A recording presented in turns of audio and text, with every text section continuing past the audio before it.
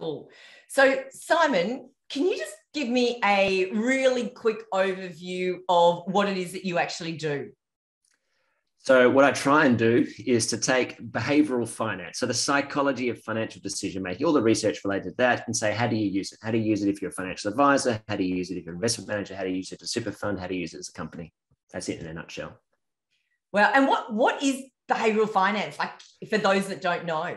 Yeah, I think people probably have come across aspects of psychology before what's driving people to do things to behave in certain ways to make certain decisions and then they might have come across a thing called behavioral economics, which is that we then start to use these to say, well, how do we nudge people to, I don't know, to lose weight or to exercise more or to pay off their credit card? So there's all those sorts of things. Use less energy. All right, that's behavioral economics. And then behavioral finance is like that, but it's a, the extension into specifically investment financial decisions. How does it relate to markets? How does it relate to whether you save for retirement versus spend and splurge now? Do you have insurance? Do you how do you build portfolios, all that sort of stuff. How on earth did you get into that? Where does that come from? Uh, well, it depends how far back you want to go. Let's so, go right back. right I want to know okay. where this came from. okay, so if you go back, my father and my uncle and I think my aunt, anyway, they're, they're all PhDs in psychology, professors of psychology. All right, so now you could say, was I influenced by all those people who were down that sort of path anyway? did I have the same genes as them and somehow we were influenced in that way?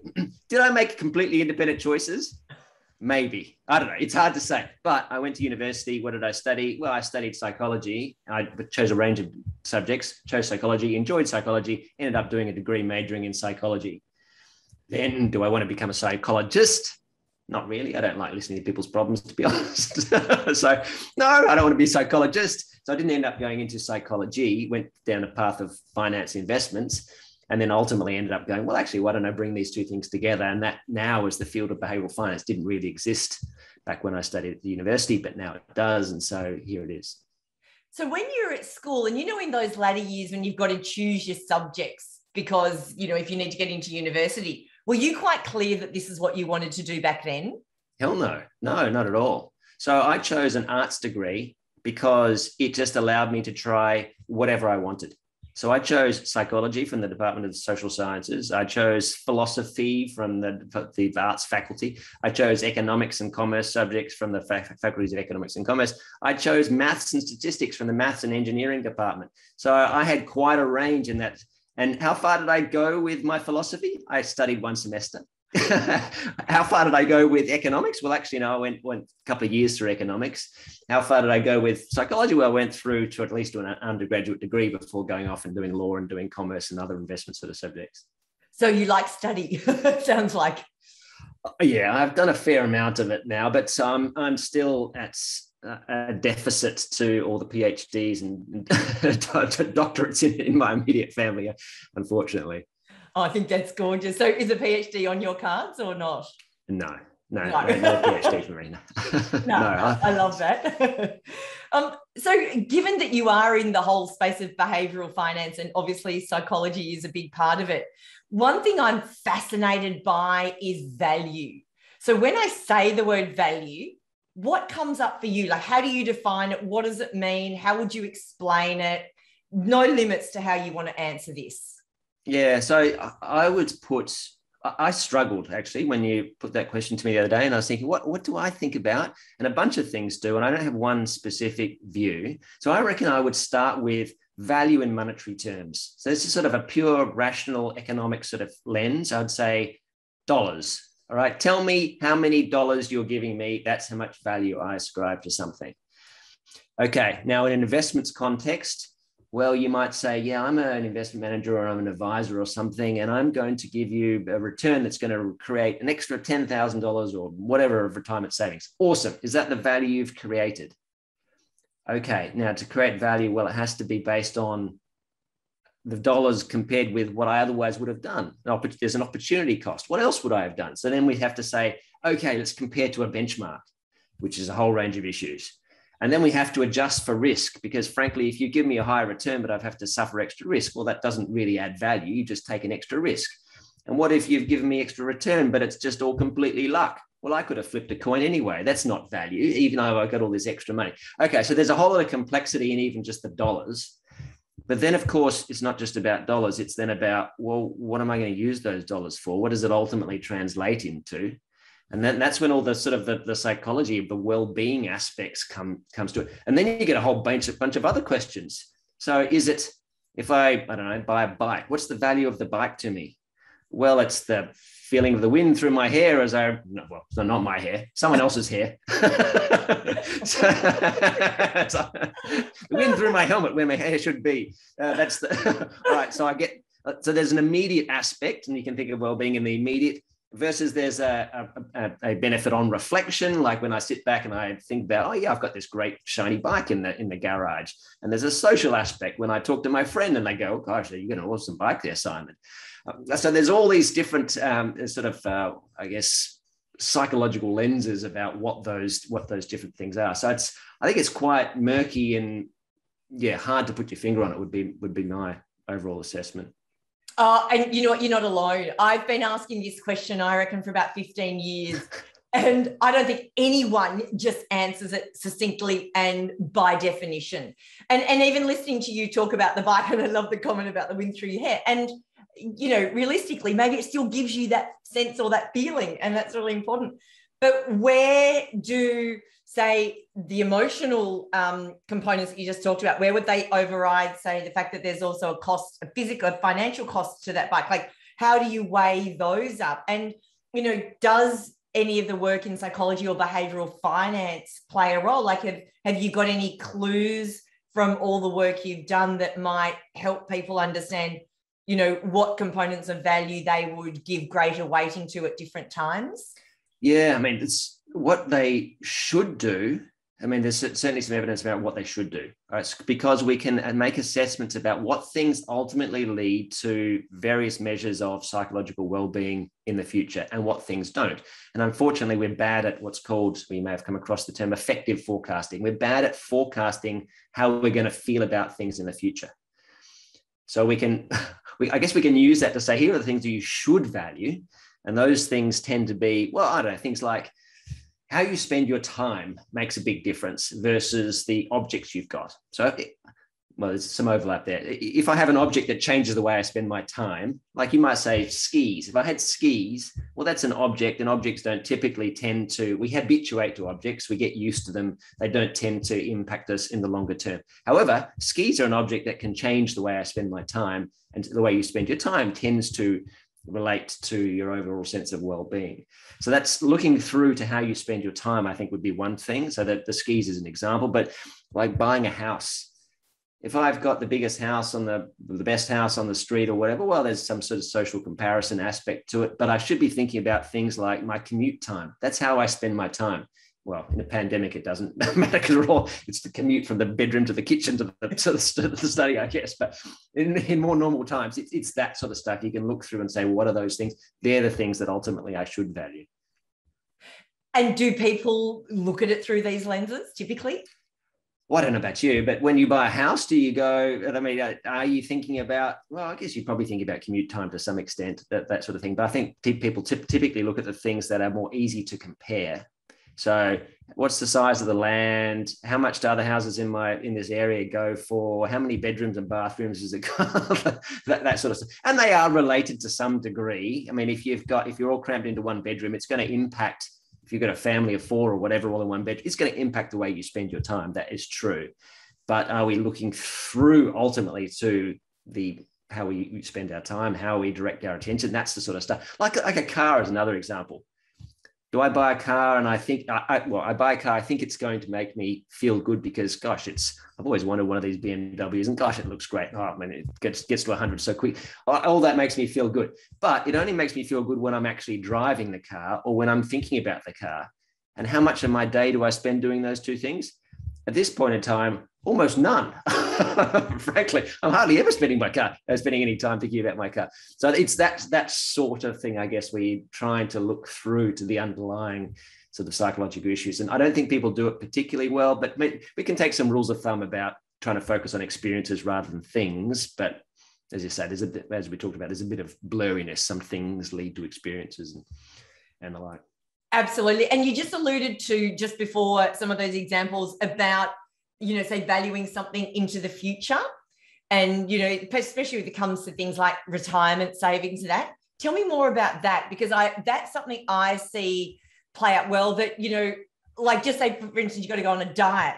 You're going, oh, I won't start today, but I will tomorrow because tomorrow I'm going to be more disciplined than I am today. Yet, of course, tomorrow comes and I'm like, you know, I will. So we seem to, you know, say that I'm going to be a different person or make a different decision in the future to how we do that today. How does that play out from a yeah. behavioral finance point of view? Yeah, well, I think I think you're right. Generally, it's we do tend to think we're going to have more time and more discipline in the future. We why don't I do these things today? Well, it's because I'm tired. It's because it's convenient that the ice cream's in the fridge or whatever, or for, for my diet perspective. Or, oh, yeah, you know what? I really like these pair of shoes, but tomorrow there won't be a pair of shoes. Yeah, yeah, tomorrow there will be a pair of shoes that you're like, tomorrow you'll still be feeling all that sort of stuff. So we sort of don't tend to understand that how the future will look and therefore how we'll be influenced by some of those sort of those sort of contextual um, issues. We also down tend to downplay the emotions that we feel in the future. So that's that's why some of these sort of for techniques for financial advisors that financial advisors can use or super funds. Any anyone trying to encourage people to save can say, how can we take these emotions that you will feel in the future? This is your future self. This is a version of you, but you feel disconnected from that future self. How can I make that connection feel a bit more tangible? How can I bring those emotions into from the uh, from the future into the present?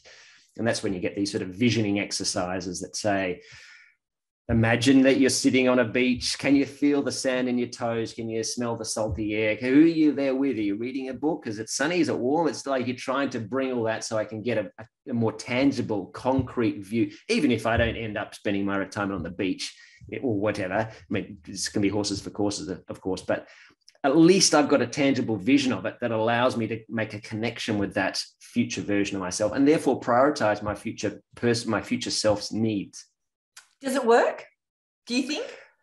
Uh, well, the evidence suggests that it does improve things. Does it mean that we do all the right things all the time? Certainly not. But it, I mean, the evidence around some of those things, when you put people in simulators, when you give them virtual reality displays that show an aged version of themselves, or you do these visioning exercises. So there's a bunch of things that have been tried. And then when you put people in randomized controlled trials and do this versus doing some other equivalent thing, that's that's not sort of bringing forward that future self, um, sort of or bringing back into the present the future self. It does make a difference in terms of their savings intentions and that sort of stuff.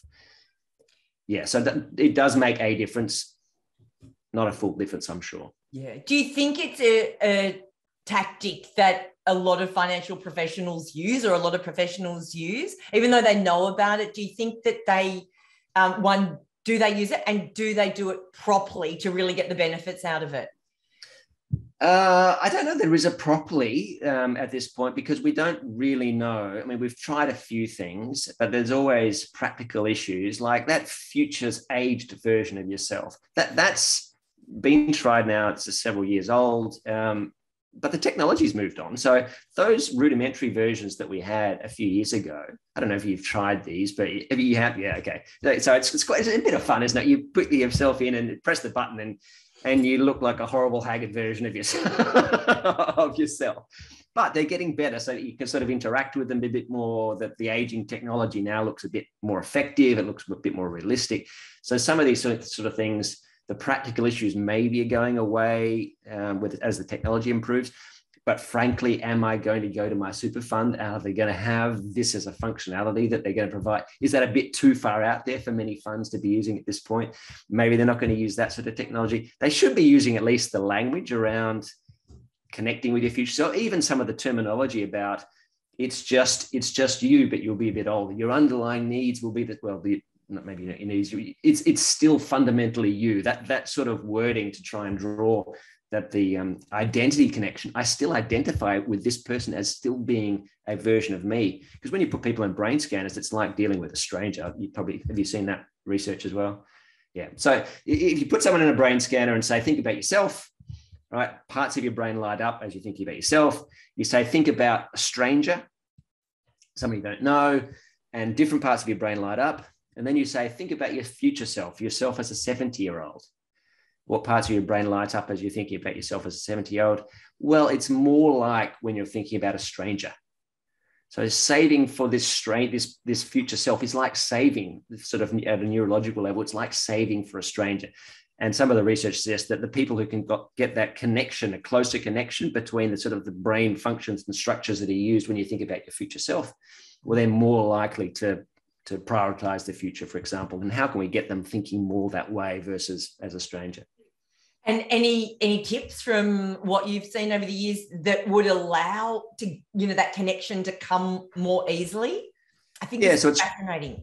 Yeah so it's trying to make it the, the, identity connection making it feel like this is a person a, version of me it's trying to make the, the emotional connection the, the, tangibility connection. And that's i mean we've got a problem with the uncertainty of it. So that when i think about now there's only one version of me right now. In the future there's hundreds of thousands of possibilities it's all murky and how can i imagine so even okay fine we don't know what it's going to be but how can i at least make a concrete version of one of those futures that then can allow me to yeah, make it tangible, make a connection with that future, even if that that future is probably not going to play out exactly that way. I love that um, concept that you know the future me. There's so many different identities, so many different versions, which is kind of cool, right? Because it allows you some choice in which one you want or which path you want to actually head down. Yeah, but I think one of the challenges that a say a super fund or maybe a financial advisor, perhaps to a lesser degree, has got is that they don't know what things I might. I mean, I don't know either, but they they certainly don't know. so then they put out a thing that's got a picture of an old man on a golf course. All right, now, do I like golf? Oh yeah, I don't mind golf. Would I be on that golf course? Well, maybe. I don't know, but it's so allowing the the uh, person, I guess, to identify what their future is. But then you're you're stuck in a position where you might say, no matter what your financial goals are, and so then you're leaving this whole wide sort of aspirate uncertainty. You're leaving it in the hands of the poor person to then. So I think you've got to, we've got to allow people to explore themselves, but help them on that journey rather than sort of leaving it completely sort of wide open, uncertain. I absolutely love that comment. I think when you give people a blank slate, it's so much harder. And one of my favorite um, ways of bringing this to is I often say, So, Simon, what do you want for dinner tonight? Lasagna.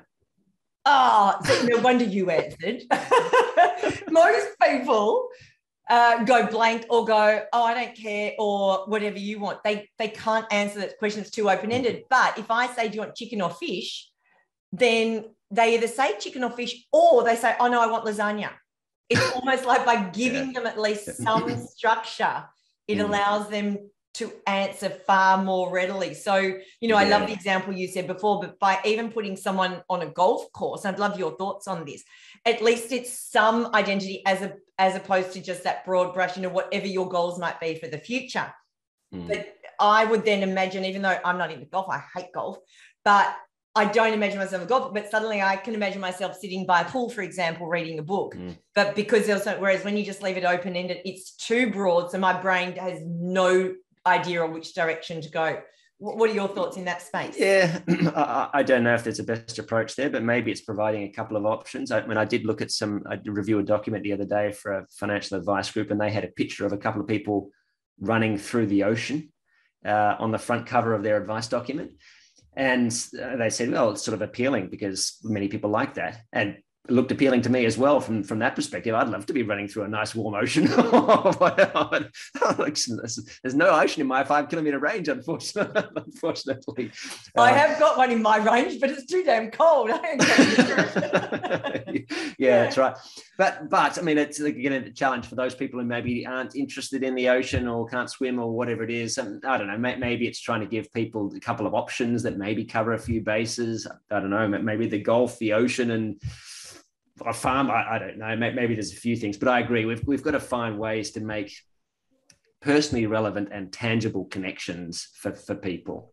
Now, I mean, I think the technology helps us get there as well. I mean, as tools, you can sometimes get people through like a decision making tree what sort of future do you envisage for yourself? Is it this, this, this, or this? And then you can go, okay, now you've said it's beach. Do you think you'd be in the water or sitting by the beach reading a book, or that you can maybe start, you can maybe sort of help people down some of those sort of paths to get to an outcome that's relevant for them. Oh, I love that. And I, I want to touch on decision making shortly. Can I just um, jump back to you made a comment about language what role does language play in terms of um, one, what how people see their future, but two, in terms of value, what where what role do you think language plays overall if you're trying to help people understand value? Um, well, what would I say to that? I, well, I mean, I think the problem with value is it's so vague in many cases. So when things are vague from a decision making perspective, when things are vague, people often look for simple decision making shortcuts, ways to cut through the complexity. And those things often have some truth to them, but they're sort of rough rules of thumb. Okay, so what we can do is we can try and align what we do with those rules of thumb. If people are going to use these simple decision making shortcuts, how can we make sure that if we're communicating with these people, that we uh, make the things that we are communicating to them look like they're valuable? Hopefully, they are also valuable. Let's make sure they are actually valuable as well, but make them look valuable given people are going to be making these simple decision making shortcuts. So, to give you an example, if people are going to say, not what's they're not consciously going to say, but this is effectively what's happening behind the scenes, is that if something is, um, if it's difficult and if a lot of work has gone into it, then I'm going to assume that thing is valuable. Right? They're not, as I say, not consciously thinking that, but that's sort of subconsciously what, what goes on. We use the amount of work that's gone into something as a proxy for its value. Now, of course, you could do a whole lot of work on something and it's complete crap, right? It's got no value. That's that's entirely possible. However, as a rough rule of thumb, the more you put into something, the more you get out of it, sort of roughly makes a lot of sense. Okay, so if I'm then communicating, what language do I use and how do I communicate? What I want to make sure is I'm doing the things that make it look like a lot of work's gone in and avoiding the things that make it look like no work has gone in. So, what I want to avoid is in my documents things that say, um, uh, what would be an example? Um, uh, if you have children, then um, uh, no, for, for each of your child slash children, then fill out that, that sort of thing. Child slash children is an example. So if I see a document that says, if you have child slash children or words to that effect, then it says, A, you don't know how, if I've got a child, and B, you don't know if I've got one or more. So it looks like you haven't put any work into understanding me, or if you understand me, you haven't put any work into actually changing the document to reflect my individual circumstance. This looks like a template document that no, no actual person has then tailored to my, for my needs. So every time I'm seeing generic content, I'm thinking little work has gone into this. So I, I want to avoid any language that looks that looks that way.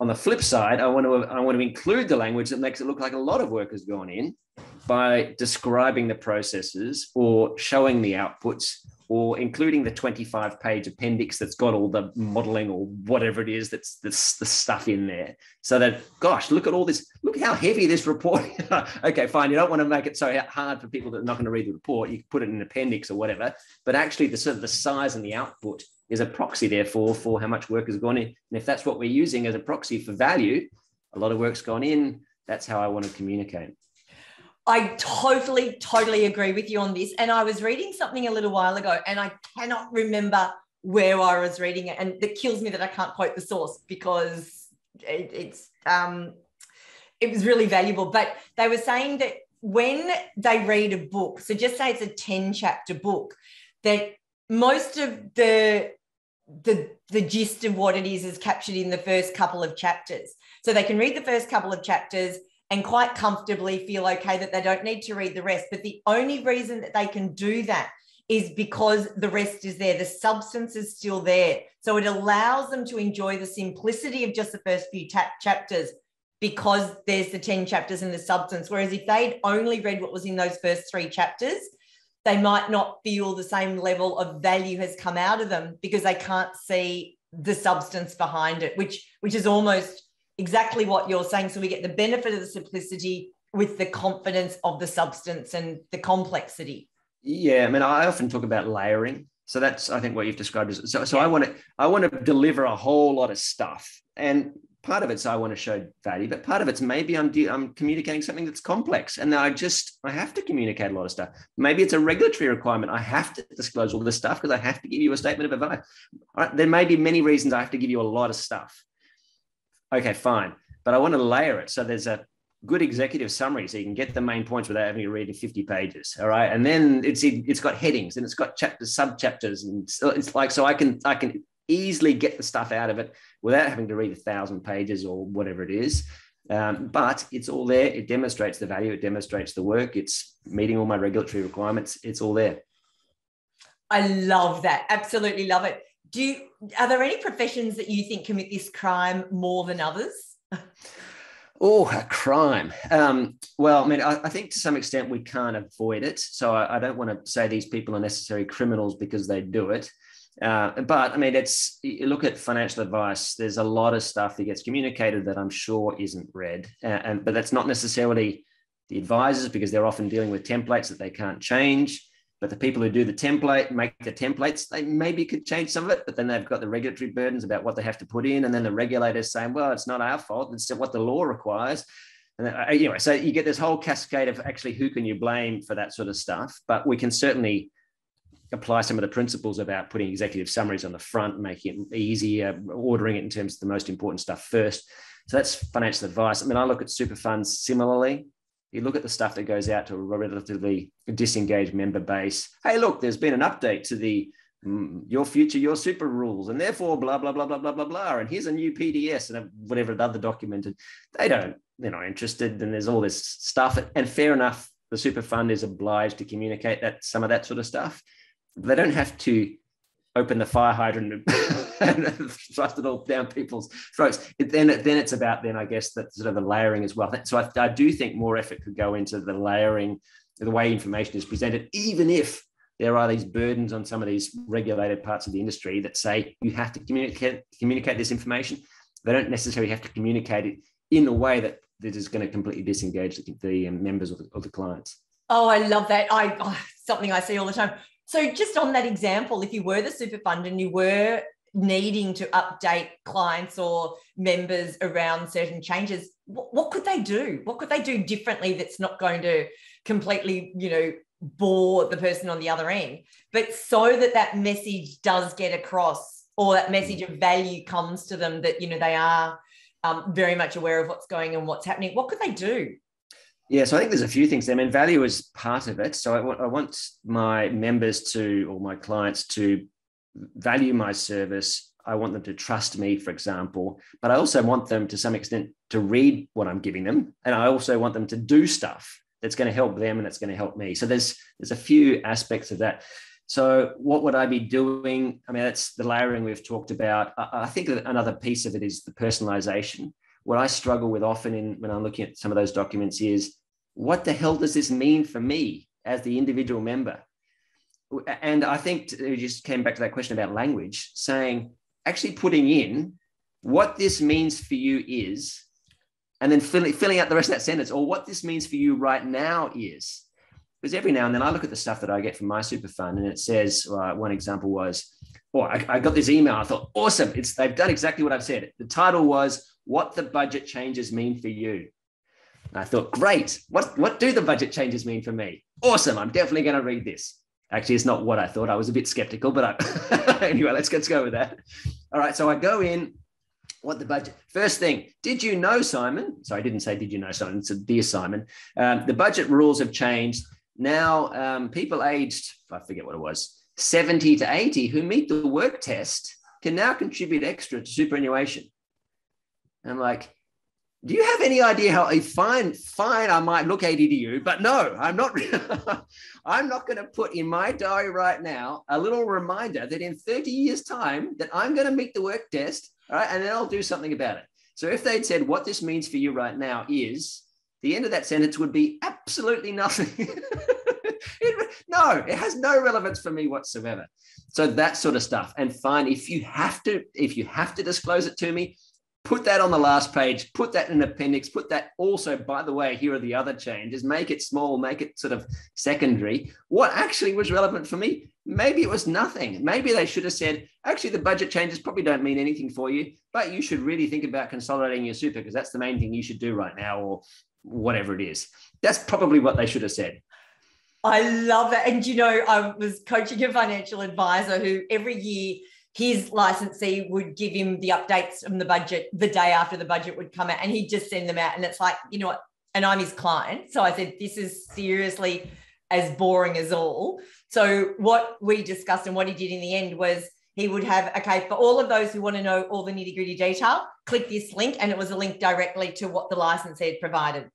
For those of you who just want to know the snapshot, um, here are the five key changes. For those of you who want to won the who want to see who won the voice last night, that singing contest, and know that if anything's going to affect you, I will be in touch.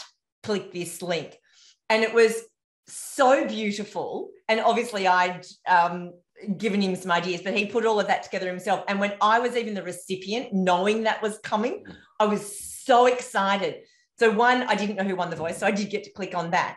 But besides the point, what it actually did was make him seem more valuable in my eyes because of the line there that if there is something that's going to affect you directly, I will be in touch. So I then got that reassurance that he's still there looking over me. Mm. But I got to smile at the same time.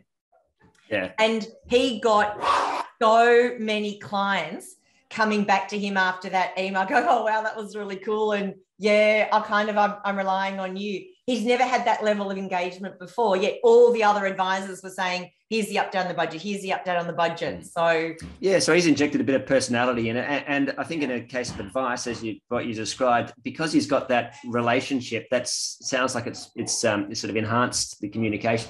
If I was a super fund though, I reckon they'd be very nervous. Oh, sorry, there's a dog barking. I reckon I'd be, I reckon I'd be very nervous to put a bit of humour in, given I don't have that personal relationship. I've got a broad membership base.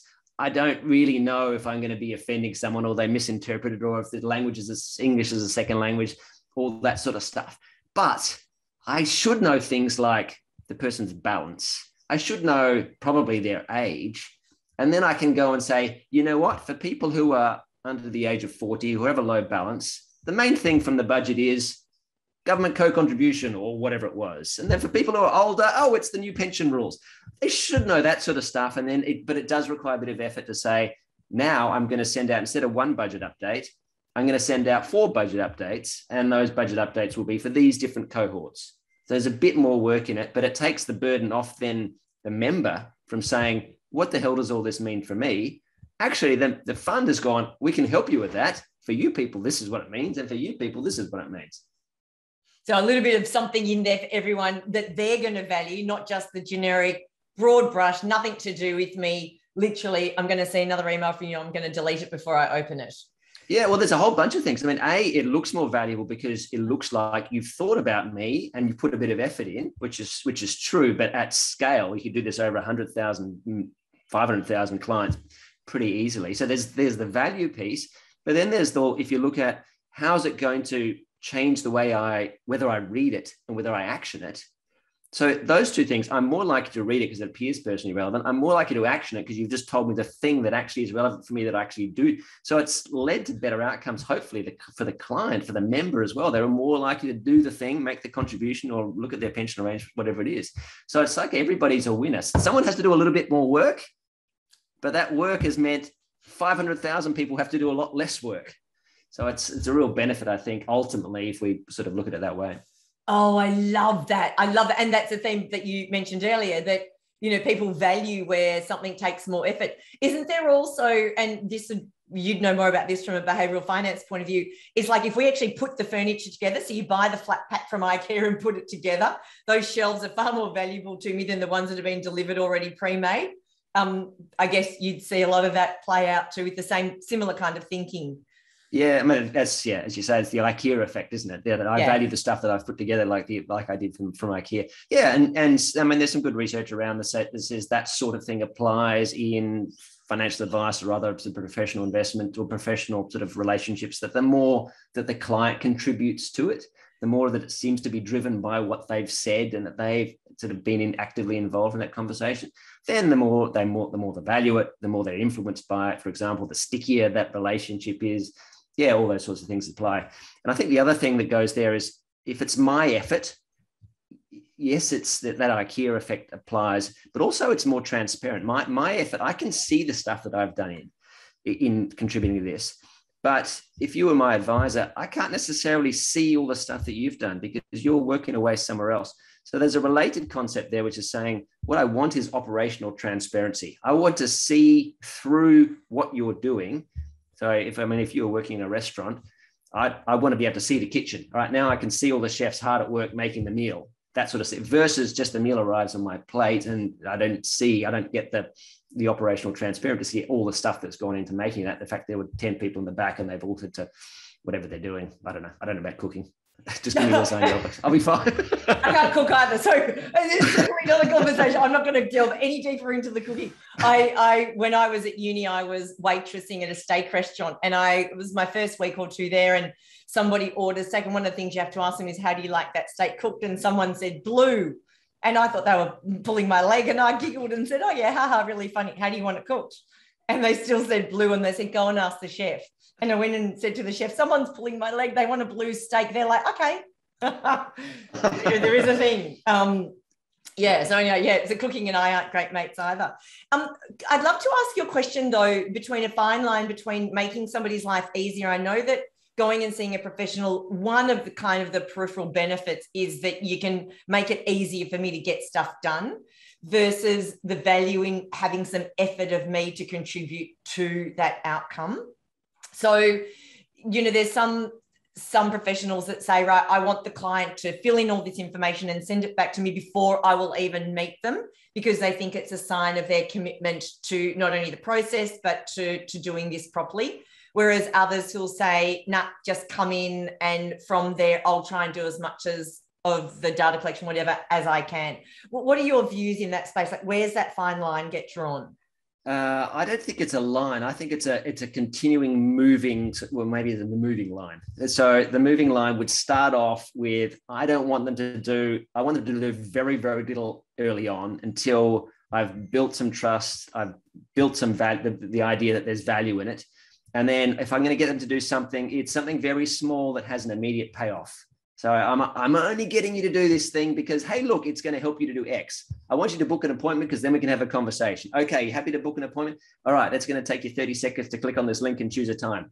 All right, now you've got me to do something, but it was very clear what the benefit to me was. All right, now what's the next thing? Well, you need to come in or have a Zoom meeting or whatever it is. Okay, what, but what will I get out of that? It's going to be X, Y, and Z. Right now, I've committed another 45 minutes of my time or whatever the meeting was for that first one, but I knew what I was getting out all right, now what's the next thing? It's going to be something bigger than a 45 minutes. And I and you've had to tell me what the benefit is. Oh, it's filling out this information fact find sort of document and completing my risk profile. What oh, that's going to take me what another hour and it sounds pretty boring. Why do I have to do that? Well, it's so that I can do blah, blah, blah. Because what you've told me is that you need to change your investments or whatever. And to do that, so I've each stage, it's it's getting bigger. The, the commitments are scaling each time it relates to them getting a benefit. And as soon as they can get the benefit, the faster they can get the benefit, the more tangible that benefit is, then I think the easier it is. But I agree. But by the time you've been through this process, and ultimately I've booked a meeting, had the meeting, booked, done these fact finds, had a subsequent meeting, read a statement of advice, done all those things yeah, by the time I'm through all that process, then I've got the benefits of easy at the out, outset, but also a lot of my input through the process.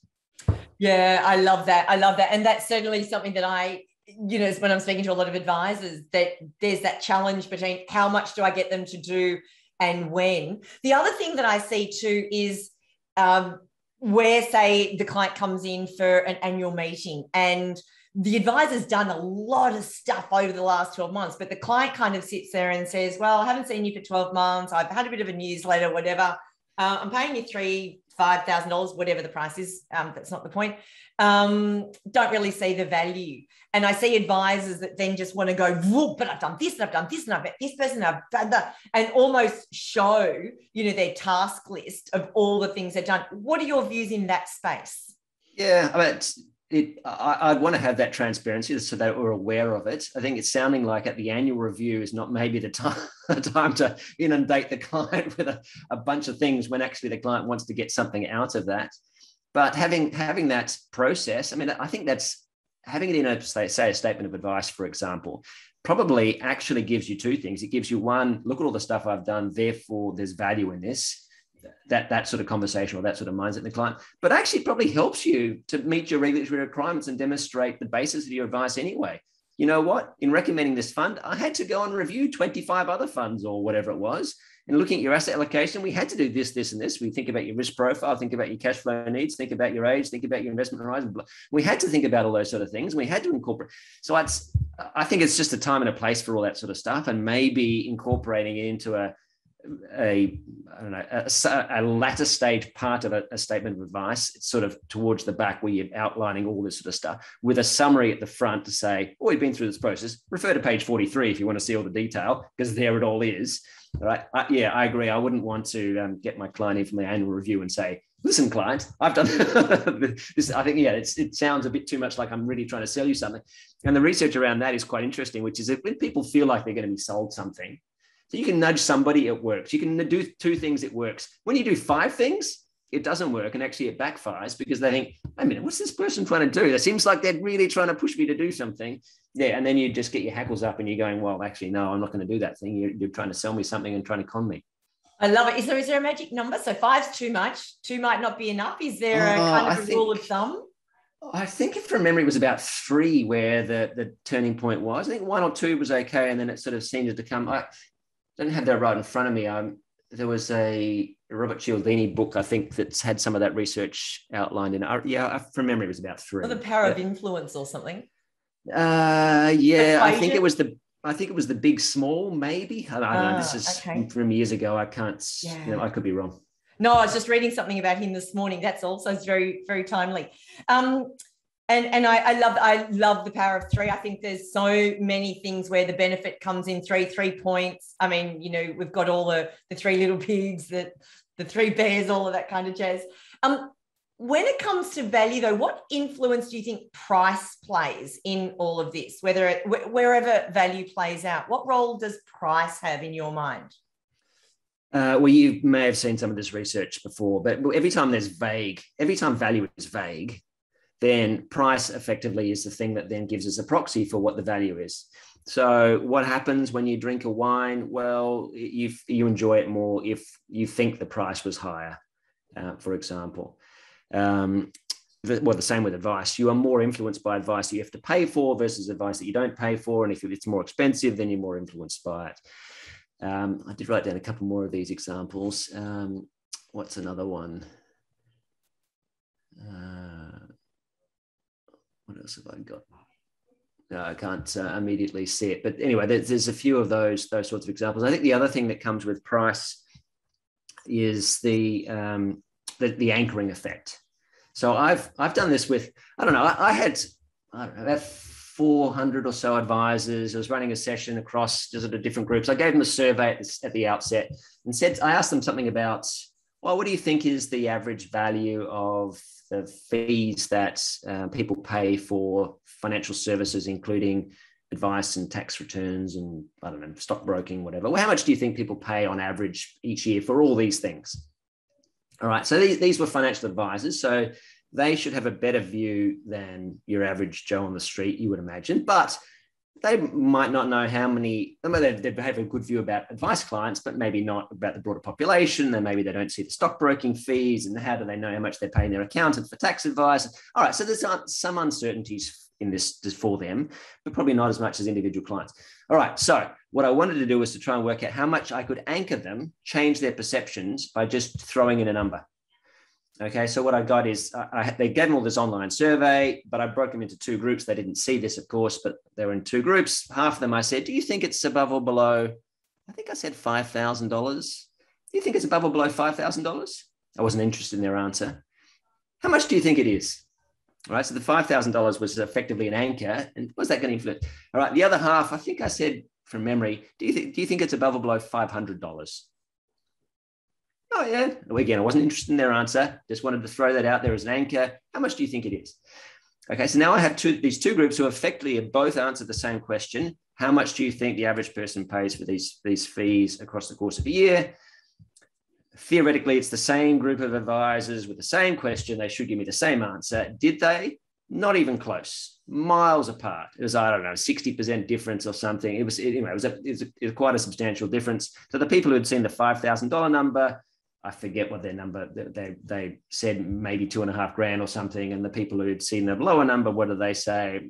I don't know, maybe a thousand dollars or something, whatever. Anyway, there was a there was a massive difference, and that's not a one off. So I've done that sort of thing previously with individual clients with with advisors just throwing a number in. I use this with my negotiations courses as well. When you're sort of saying, well, you're going to negotiate something, make sure there's a, an advantageous anchor in the conversation before you go and negotiate a price if you're buying or selling a business or whatever it is. So that sort of stuff, the price, the price of the service, the price of related services, would make a big difference then because that's that's the proxy I use for assessing what the value of the thing is. I've got no idea how much this thing is really worth. I buy a house. Do I do I know how much? How do I quantify how many dollars of value I get from sitting on the back porch reading the newspaper in the sunshine? No idea. But do I know how much the house down the road sold for? Yeah, that's what that's exactly what I know. Oh, it's such an interesting one. And it's funny, actually, my um, sister in law is a real estate advocate. She's, she was a real estate agent for 20 years. And she sometimes is running an auction or at an auction, and some people will buy a house and they've spent less time looking at it or doing any research than they would when they're buying a mobile phone. And mm. you know, the price of the house can be millions of dollars, and the mobile phone it's quite interesting. So it's interesting, but, but when the price was right, and compared to say what they've already anchored as a reasonable price for this suddenly that's enough reason for them to go and buy the property she's been blown away um, mm. by how that works in theory um, but, but and, also and the advertised sorry. price too versus oh yeah you know how that influences um, yeah what the market's willing to pay yeah, well, you you might want to relate this message to her though, because the um, there was a bit of research that looked at um, I think it was in the US, real estate agents who were asked to give a professional evaluation of the value of, of, a particular property. So an independent valuation. And they were given a whole bunch of materials about the size of the property, all the stuff that you expect to see if you're looking at a property. and on that basis, can you please give us your professional opinion, independent opinion? And half of them saw this in material, the other half saw the same set of material, but they had the vendor's expectations in it. So there was a price point in there. Um, and then they were asked for the people who saw the vendor's expectations, did the vendor's expectations make any difference to your valuation? Oh no, no, no. You asked for my independent evaluation. I don't care what the vendor wants. That's that's irrelevant. Did it make a difference? Yeah, it made it. it made a difference. Yeah, you're anchored by anchored by that amount. Yeah. So so how just if, if someone was say in um, financial advice, how could they use price as an anchor for their benefit?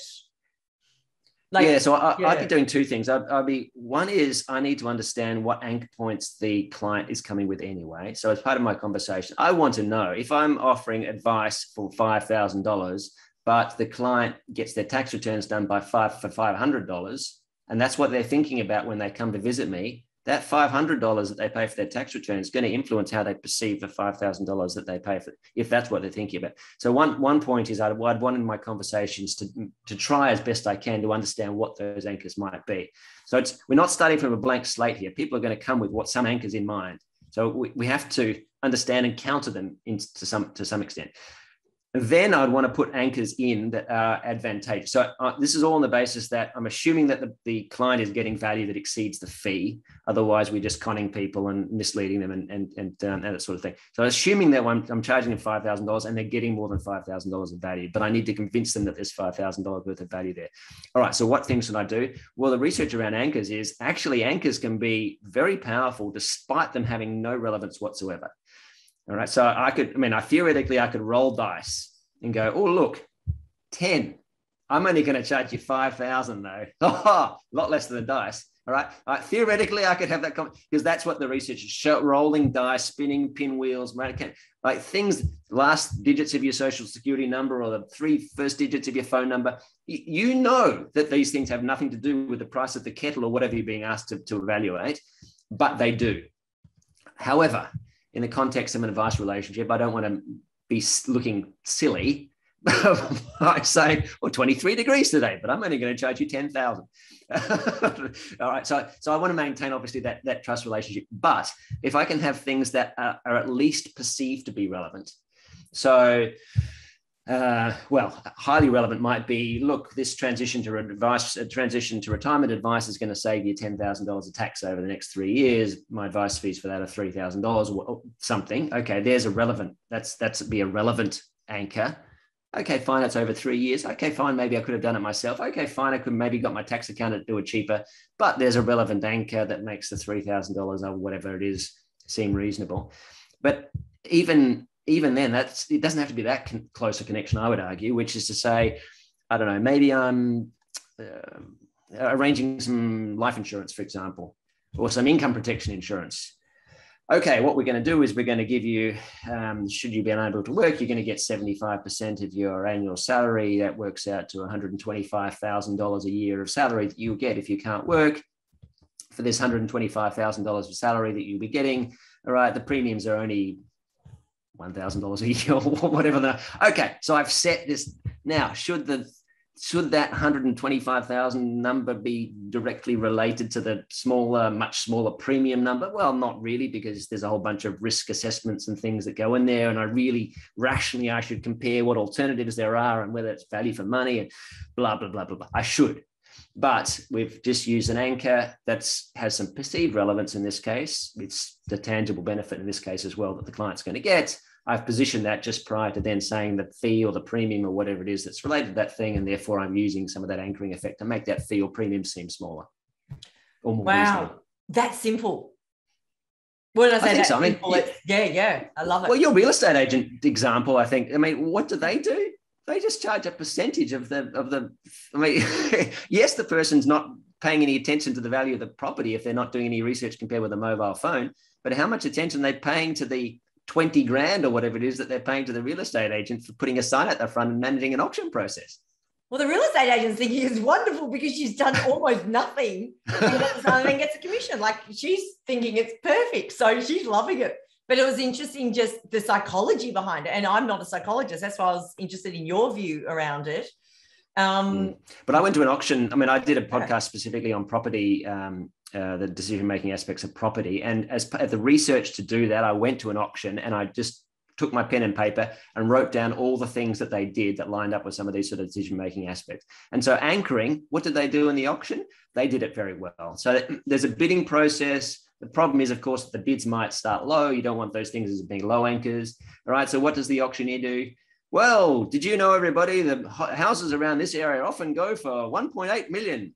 Currently, the bidding's up to 1.1 who's next? yeah, yeah. I don't know, things like that. It's like, so he constantly did it. When the bidding stops, okay, we might be now thinking, well, we're getting close. Let me remind you, everyone, houses around here go for 1.8 million. Okay, reinserting the, the $1.8 million high anchor into it. So now we're at 1.4 or whatever up to, yeah, okay, fine. Now seems smaller again compared with that 1.8 anchor. Yeah, so we can use some of those sort of concepts to influence people's assessments of value. Oh, I love it. Oh my God, Simon, I could stand here and talk to you forever about this stuff, but uh, I'm sure you've got other clients who need your value right now. Can I just ask you a couple more things? First one is of all of the people or the, the experts and those who've done their PhDs and all of that in behavioral finance or in psychology, who's your favorite? So it could be uh, author, it could be a researcher. Who's yeah. out? Uh, well, it depends who the audience is. So a lot of my audience are investment professionals, and if I was looking at the investment professional end, it'd be probably Michael Mauboussin. So he would be less familiar to probably the general populace or to advisors, I'm imagining, but he's sort of the more technical end. Um, so I'd probably say him. Otherwise, I mean, the Cialdini stuff is hard to miss from a sort of general applic- applicability of sort of social psychology. It's less about behavioral finance, but it's more about behavioral economics and some of the sort of psychological principles, but they've got broad applicability. So I'd, yeah, probably go and look for some of his sort of stuff as well. Um, how do you spell Mauboussin? Mauboussin, oh gosh, M A U B O U S I N, maybe. Okay. Michael cool. Michael Balbu. Okay, cool. That's good. No, I can look that up. Um, the other thing is, do you drink wine?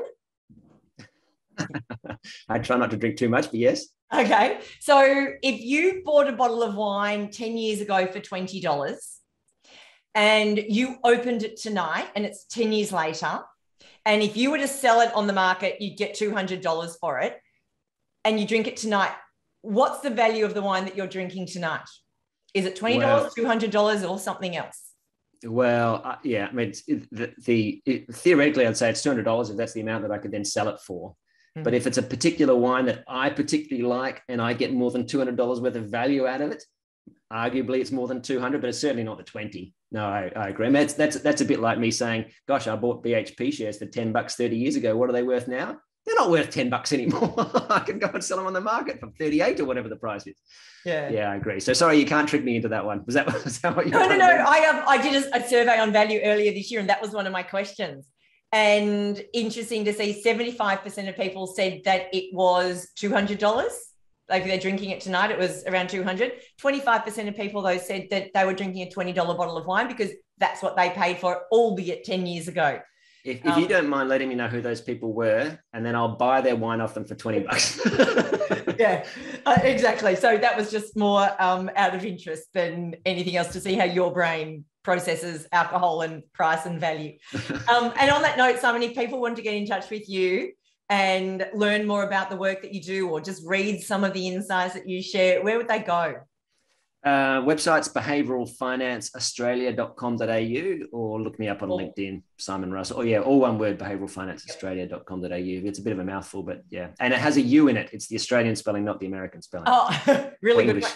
And Russell, double R U double S E double L yeah, one R if that's what you meant. R U double S E double. Yeah, that's right. Yeah. okay. Yeah. Yeah. Maths is my forte, not spelling. Um. Okay. So Simon Russell and LinkedIn, and they can go to either of those places to check you out. Um. Thank yeah, you I, I so much. This has been so valuable. Like I said, I I could just pick your brains forever, but um, you've probably got other things to get on with. Pleasure speaking with you. Thank you.